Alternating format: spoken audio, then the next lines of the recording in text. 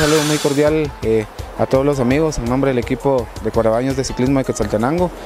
Eh, contento y agradecido con Dios, eh, con nuestro patrocinador y con mis compañeros de equipo por el trabajo que se hizo. Eh, todos pusimos nuestro granito de arena y se obtiene pues una clásica más y eso pues es muy importante para nosotros. Seguimos trabajando fuerte en esta temporada 2017 eh, para seguir obteniendo resultados positivos.